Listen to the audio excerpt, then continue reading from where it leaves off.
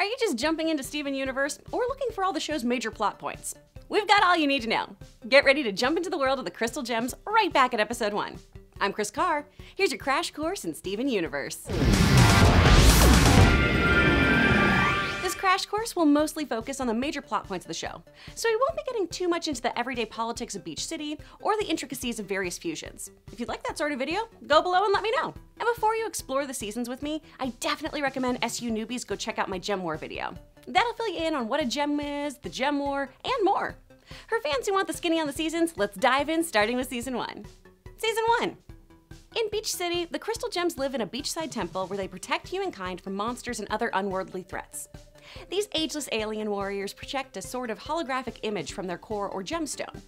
The crystal gems at the start of the series consist of garnet, amethyst, pearl, and Steven! Steven is a half gem, half human kiddo who inherited his gem from the leader of the crystal gems, his mother Rose Quartz. Steven inherited his dope ass last name from his wannabe rocker dad, Greg Universe.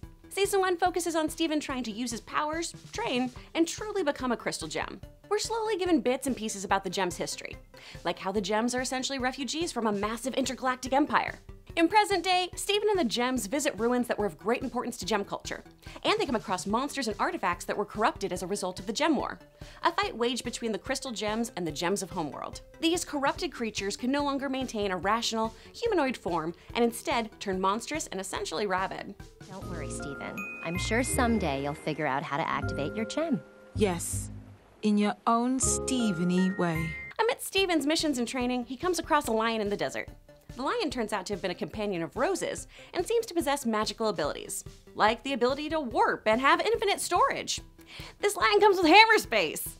Steven will later find a videotape from his mom hidden in the lion's mane with a sweet message about how he's amazing and how he's gonna be so great and how she's happy she made him.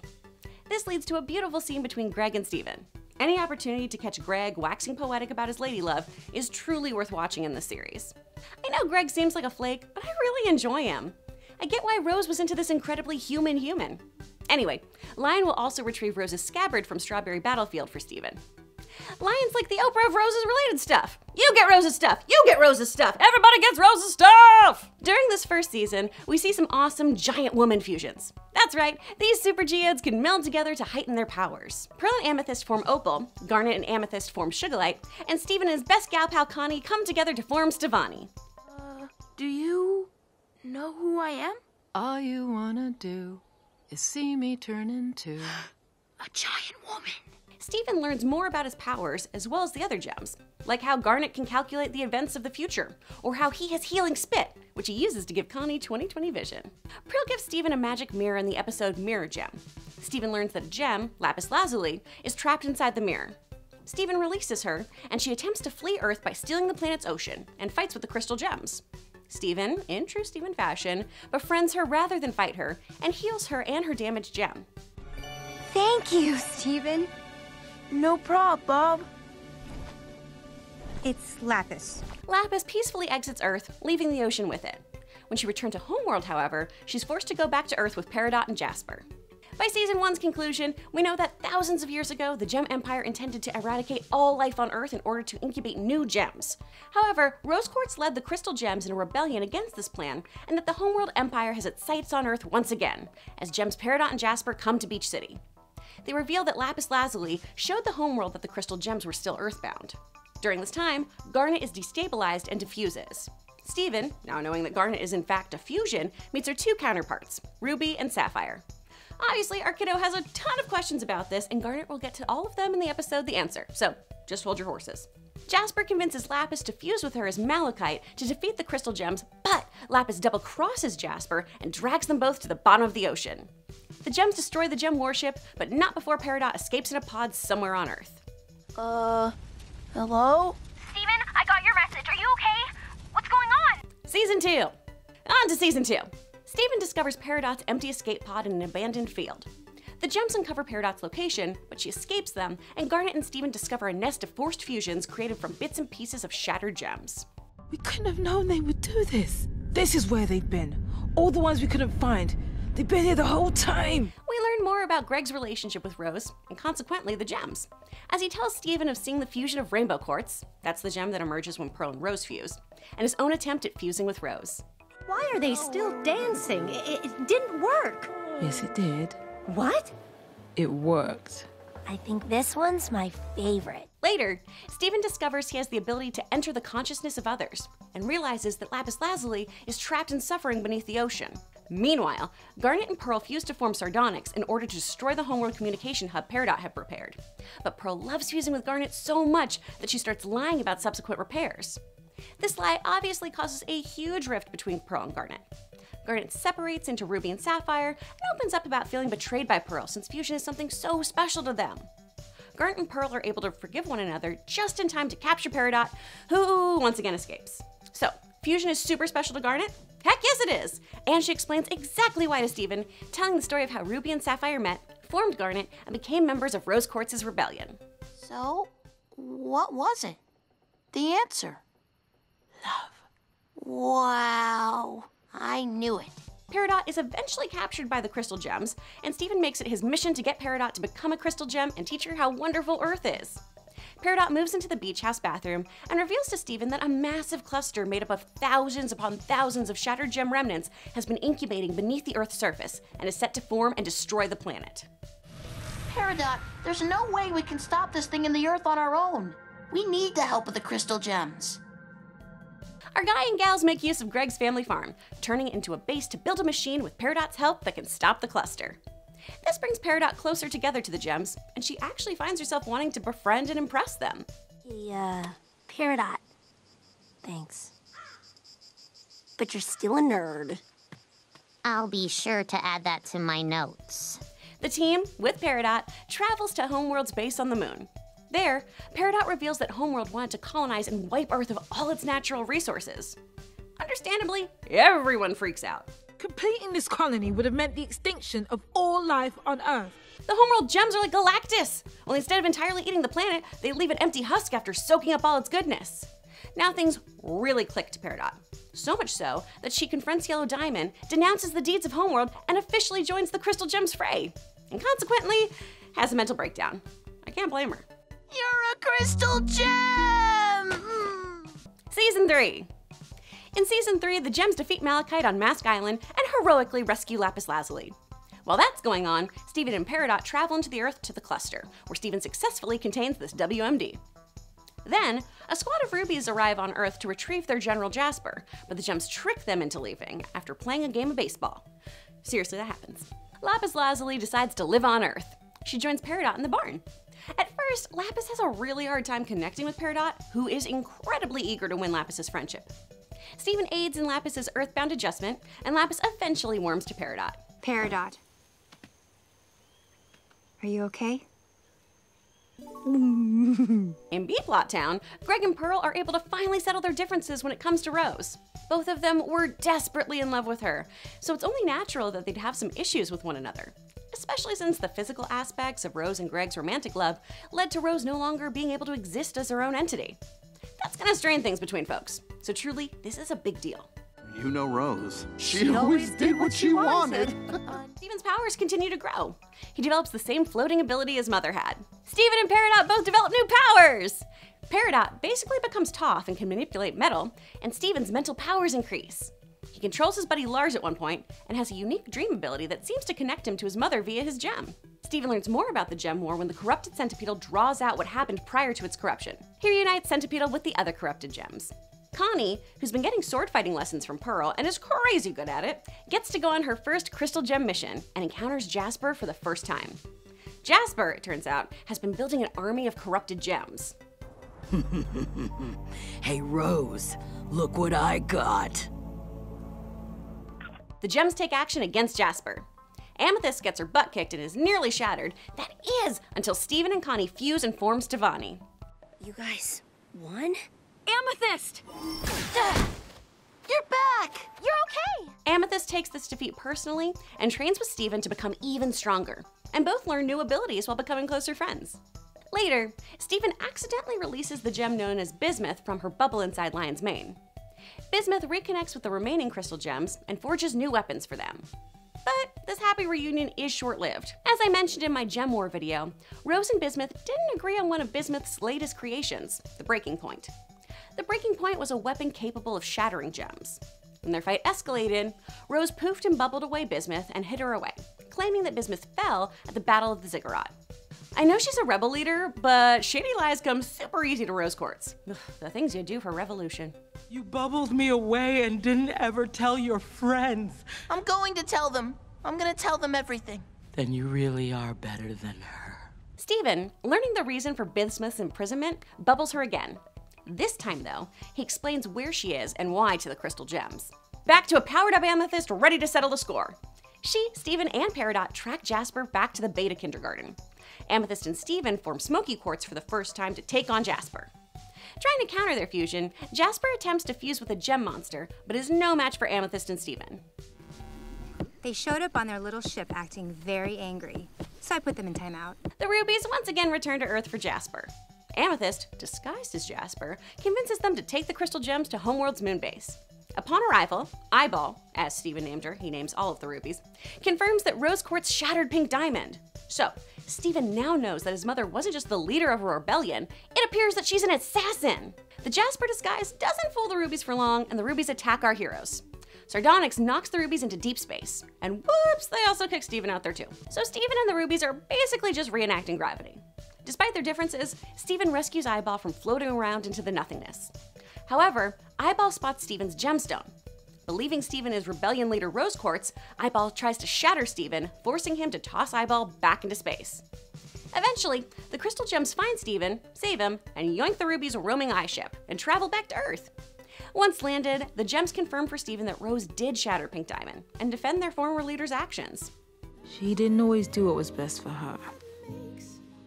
But she always did what was best for Earth. Season 4. So naturally, a huge thrust in season 4 is Steven grappling with his mother's actions. His mother's a war criminal! What the hell, Mom? Steven examines a strange recurring dream of his, despite Garnet warning him not to delve too deep. Greg agrees to help Steven look further into this dream, and it takes them to Korea. Once there, Blue Diamond abducts Greg. Steven and the Gems travel to the homeworld's human zoo and go to rescue him. While they're gone, Lapis, Peridot, and Connie are left in charge of protecting Earth. Shenanigans ensue. So we all have to do this together. For love. Steven would have had a better speech. I know. She didn't even cry. While an unfused Sapphire and Ruby, along with Pearl, go on a tour of the facility with Holly Blue Agate, Steven goes to find Greg in the zoo. Amethyst befriends the Amethyst guards and bonds with them through their mutual disdain for Holly Blue Agate and the fact that they're amethysts, and they work together to smuggle the gems, Greg and Steven, out of the zoo. Prior to escaping, Blue Diamond and Yellow Diamond return to the zoo. The two discuss Pink Diamond. Blue hanging on to the past, Yellow pushing her to move on. Seeing Pink's sisters only aids in Steven's confusion over his mother's actions. He resolves his feelings by going into Rose's room and speaking with her, or at least some idea of her, to work out how to accept what she did. Back on Earth, Steven's friends seem to mysteriously start disappearing. No one can find Lars or Sadie. These disappearances coincide with the appearance of two new gems, Aquamarine and Topaz. Aquamarine tells Steven and Connie she's looking for my dad and Connie. When Connie says she's Connie, Topaz absorbs Connie into her body, along with all the other missing dudes. Steven tries to save everyone, but when Aquamarine's powers seem too powerful for Steven, he reveals his gemstone. I'm not my dad. I'm my mom. I'm Rose Quartz. Steven departs Earth with Topaz and Aquamarine. Season 5! Last season, you guys! Alright, guys, we're in the final stretch. This is the most recent season, and there's a lot to unpack.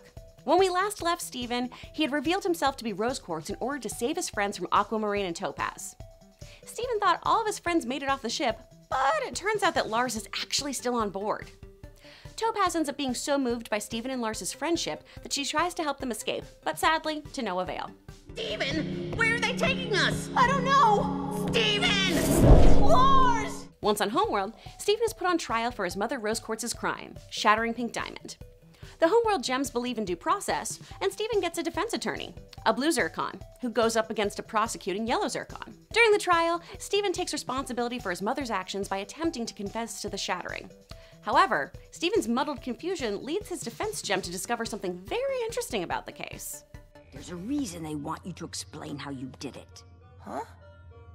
It's because it doesn't make sense. Steven learns that his mother may not be responsible for the shattering when the Blue Zircon makes a case for how Rose Quartz couldn't have done this, but a diamond definitely had the power to do so. Yellow Diamond poofs both Zircons before the trial concludes. As Blue and Yellow Diamond fight, Lars and Steven use the opportunity to escape. The boys crash land elsewhere on Homeworld and meet a group of off color gems. They're basically the Island of Misfit Toys equivalent of gems on Homeworld. Lars instantly feels a connection to these misfits as they've been hiding their whole lives. Lars basically has been too, hiding from his baking abilities, his feelings for Sadie, the possibility of looking uncool in a situation. He's always been afraid, and these other fearful creatures make sense to him and give him the courage to finally take a stand. However, in this act of bravery, Lars is killed by an explosion while protecting the group from a pack of Robonoids. Steven revives Lars with his healing tears, but brings Lars back with a pink hue and new mystical powers, much like Lion. Steven uses Lars's pocket dimension to get back to Earth, and Lars chooses to stay behind with the off-colors to search for another way home. That really sucks that you can't jump into your own pocket space. So Steven's back on Earth, and you'd think he'd get a really warm welcome from Connie. After all, they definitely like each other more than friends.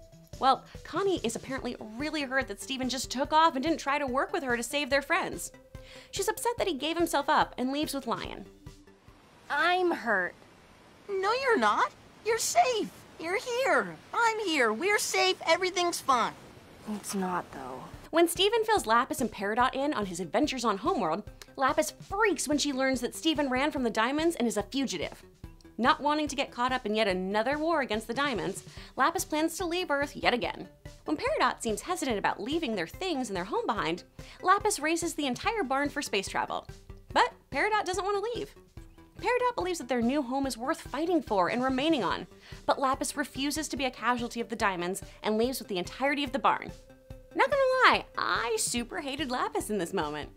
I completely understand where she's coming from, but the whole barn, dude? Leave Peridot something. Eh, at least she gets a dog or pumpkin. Later, at that doucher Kevin's party, Connie and Steven make up. I get that this doesn't seem like an important plot point, but this is a really great apology on both sides and shows their emotional growth. I don't even know what to say to you.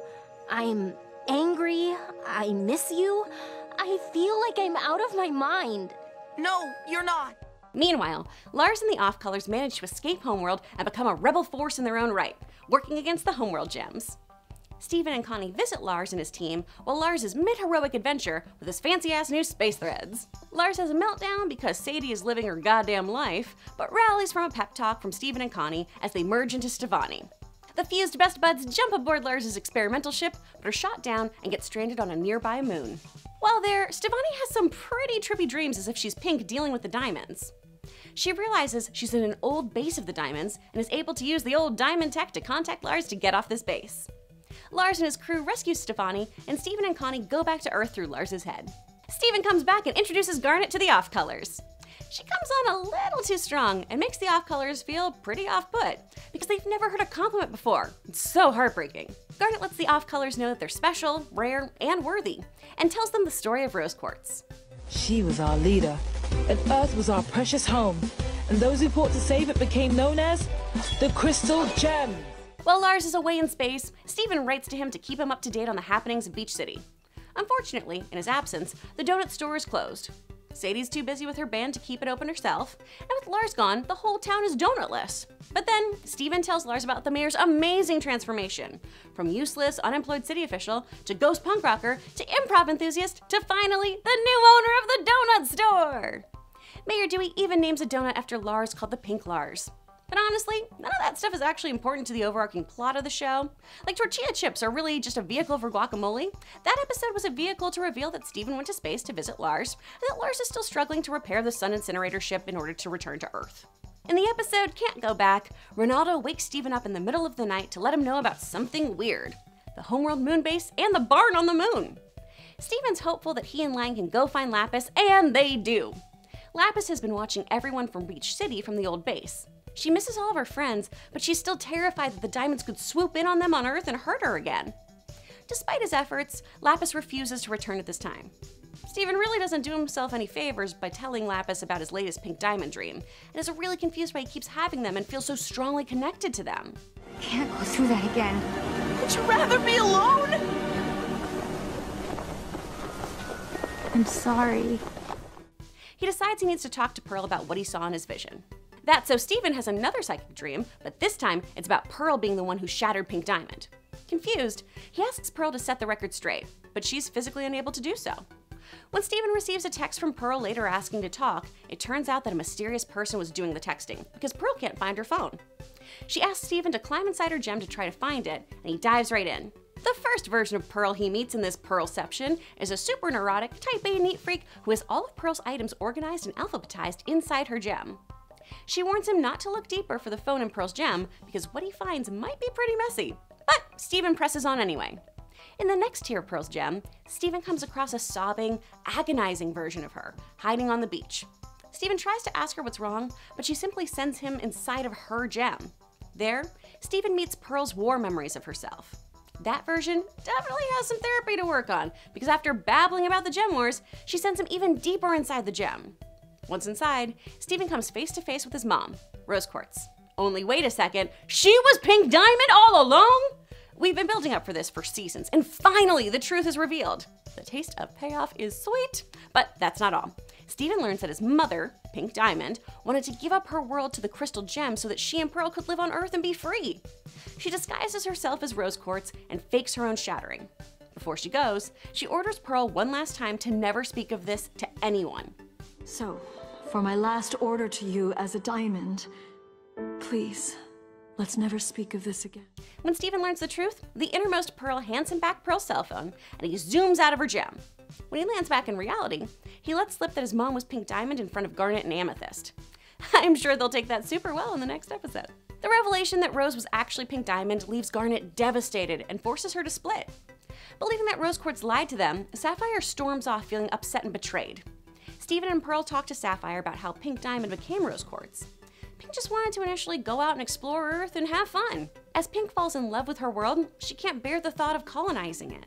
Her biggest turning point, however, was witnessing Ruby and Sapphire merge. With this new knowledge, Sapphire rushes back home. But once they're there, they discover that Ruby is left. With Ruby gone, Pearl and Sapphire are devastated at the loss of both her and Garnet. When they collapse into a puddle of tears, Steven and Amethyst have to take charge and find Ruby themselves.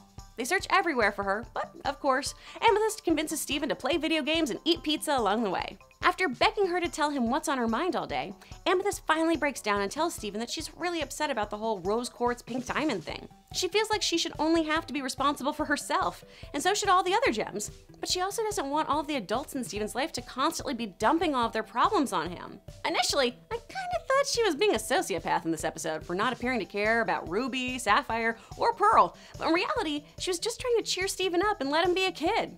So, all this time, Ruby's actually been kicking it with Greg. Greg helps Ruby feel better, and Ruby, for the first time ever, thinks about herself and what she wants. Ultimately, after a little self discovery and some cowboy attire, Ruby proposes to Sapphire. This time, being Garnet will be our decision. What do you say? Of course. To welcome Garnet back to the group, Sapphire and Ruby decide to plan a dolphin and flame themed wedding. The only problem? All of their gem friends are still in bubbles, and it really blows to have a party without any of your homies. To cheer them up, Steven decides to free Bismuth. At first, it does not go well. I honestly thought Bismuth was going to pop every bubble in the cave, and we were going to see a full scale Gem War sequel, Too Gem, Too Furious. Luckily, Steven manages to explain things to her and calm things down. But even with the knowledge that RQ was actually PD, Bismuth just can't shake the feeling of being unwanted at her friend's wedding. Using his badass empathy powers, Steven helps Bismuth realize that she's more than wanted at the wedding, and the whole gang gets to witness the refusion of Garnet together. Aw, it's really sweet, you guys. So now we come to the required wedding episode every show must have. Ruby and Sapphire get married, becoming Garnet once more. And by the power vested in me by the state of Delmarva, I now pronounce you Garnet! I'm still slightly concerned that Steven is a licensed efficient. Delmarva's just throwing that power at 14 year olds. Beach towns are weird, man. The good times get interrupted though when Yellow and Blue Diamond crash the wedding and invade Beach City. The corrupted cluster is unbubbled, but they choose to fight alongside the Crystal Gems rather than Yellow and Blue Diamond. And guess who else is back to help out? Lapis! She goes full Wizard of Oz and drops a house on Blue Diamond. The gang moves to take on Blue Diamond together. The cluster helps take down both blue and yellow before returning to its bubble, and it looks like the gems have won. But then, yellow emerges and brings out blue. Yellow then poofs Peridot and Lapis into their gems. In an out-of-body experience, Steven confesses to Blue and Yellow that he slash his mom is slash was Pink Diamond. When Blue Diamond is reunited with Pink Diamond after all these years, she immediately bursts into happy tears, causing everyone around her to start sobbing too. You'd cry too if you thought your friend had been shattered by your enemies. Steven explains to Yellow and Blue Diamond that although his mother is a part of him, he doesn't have any of her old memories. He tries to convince Yellow and Blue to help him heal all of the corrupted gems left as casualties by the Gem Wars, but it's impossible for them to heal even one of them fully without the help of White Diamond. Steven decides they need to travel to Homeworld to ask White Diamond to help him, even though literally everyone tells him that it's basically a suicide mission. But our little belly button buddy is determined, so he drags the gems and Connie all the way to Homeworld in his mom's hot pink leg spaceship. I bet that spaceship does like so many squats, y'all. Unfortunately, when he gets there, White Diamond immediately locks him up because, oh my god, Steven, literally everyone told you so. Did you get everything out of your system? I. Good, good. Everyone is so relieved. Welcome home, Pink. Steven wakes up after another crazy premonition dream about playing with his own Pink Pearl. When Yellow Diamond walks in on Steven juggling for her, the two have to pretend like Pink Pearl is just helping Steven get dressed. As soon as she leaves, Steven and Pearl start giggling. Be sure to keep this Pearl in mind. We'll be seeing her again in the finale. Steven decides to throw a ball for the first time in 6,000 years so that everyone can try to loosen up a little and dance. But unsurprisingly, all of the diamonds and their pearls are total buzzkills. Apparently, White Diamond is the mayor from Footloose Town because no one on Homeland is allowed to dance or drink or have any kind of fun. Steven isn't thrilled about it, but decides to just go with the flow and be polite and boring. He's hoping to corner WD on the dance floor and try to convince her to save Earth after all. But when White Diamond doesn't even show up to the ball, Connie convinces him to dance with her in front of the entire ball. As soon as they fuse into Stevonnie, Yellow and Blue Diamond throw them in jail and poof the rest of the gems. When Stevonnie fails to escape and devolves back into Steven and Connie, Steven knows they need a new plan. He decides to try to intentionally enter the psychic realm to try and contact his dad and Bismuth for help. That's when this becomes the weirdest television episode of all time. Steven flies too hard to Earth and ends up landing on an island where everyone is made out of watermelon, even the dog. He tries to talk to the watermelon people, but fun fact watermelon don't speak English, so he has literally no idea what their whole thing is, and neither do I. Is that guy with the normal head the watermelon king? Did they kidnap Steven? Or was that some type of watermelon warrior welcome? Who's to say? Steven persists and eventually builds himself a boat to try and sail back to Beach City. He gets attacked by a shark that destroys his boat, but he managed to snuggle the heck right out of that shark, grab onto a piece of driftwood, and float to safety. In the process, he loses a hand and a foot, which he seems pretty nonchalant about, if you ask me. Who's cool with watermelon amputation? Who am I kidding? There's probably a porn about that. All right, anyway, Steven washes up on the shore of Beach City and is rescued by the lion, who takes his broken little watermelon body to Greg and Bismuth. After a series of very confusing games of Sand Pictionary, Steven manages to tell them that they need a lot of help on Homeland. When he's sure his dad understands, Steven wakes back up in reality, back in the cell with Connie. And now, we wait for their rescue. Guess we'll see what happens. In the season finale, Change Your Mind, Blue Diamond breaks Steven and Connie out of the prison tower, but is confronted by Yellow. They fight, but ultimately Yellow decides to help everyone escape with the bubbled crystal gems. White Diamond intercepts them and begins to fight as I can only describe as Voltron meets Jem and the holograms. Like, look at this mech. Bismuth, Peridot, and Lapis Lazuli come to their aid using the repaired diamond ships. Steven convinces Yellow and Blue to let White know that the current system is broken and that they themselves are hurting. Steven pleads for White to allow them to come together and form a plan, and White seems to super hate that and lashes out at Yellow and Blue. Steven, Connie, Lapis, Bismuth, and Peridot flee from White Diamond, and in the chaos, Steven drops the gems. In order to pull out their forms and save them, Steven fuses with Amethyst, Pearl, and Ruby and Sapphire. This was definitely a move to please fans, but whatever, it totally paid off and was super fun, especially when we got Obsidian versus the Diamond Mech.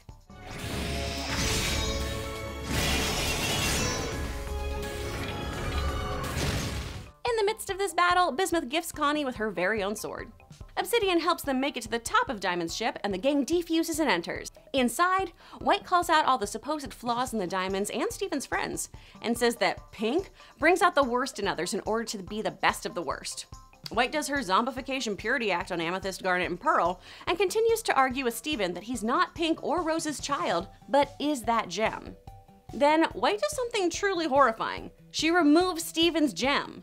We get a Pokemon esque gem evolution. Pink to Rose to Steven.